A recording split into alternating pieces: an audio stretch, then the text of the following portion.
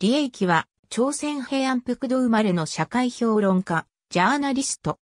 関陽大学校名誉教授。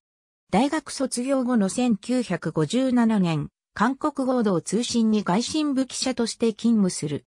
ベトナム戦争への韓国軍派兵を批判する記事を書いたことで、朝鮮日報から追放され、軍事政権を批判する運動に参加したことにより、1971年に合同通信を会食。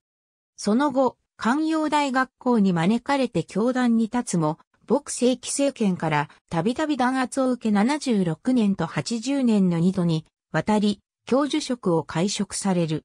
1988年、新しい言論を唱えたハンギョレ新聞総幹事には、理事及び論説顧問に就任。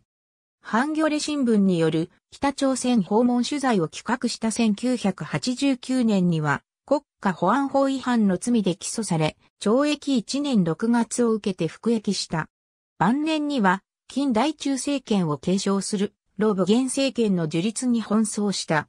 2000年に脳出血で倒れ、右半身に麻痺が残った後も、時代を憂いた活動はやむことがなかった。死後、遺体は公衆事件の犠牲者を弔う5.18民衆墓地に埋葬された。1970年代、80年代韓国民主化運動において活発な言論活動や聖域を破る執筆活動から運動権の父と尊称され、今もって韓国における知識人、ジャーナリストの筆頭に挙げられている。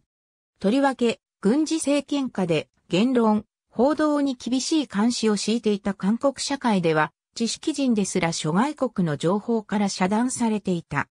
そのため、諸外国の事情に通じていた利益のジャーナリストとしての活動は、軍事独裁体制下の民主化運動勢力の理論的支えとなる一方、政権側にとっては大きな脅威であった。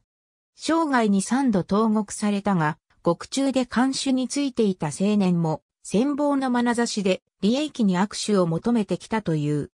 常に軍事政権から命を狙われる立場にあったが、諸外国に多くの友人知人を持ち、国内においてもあまりに著名であったため、暗殺を免れたと言われている。利益は、自らの言論人としての行動を、実著の中で、偶像に挑戦する理性の行為と定義していた。ありがとうございます。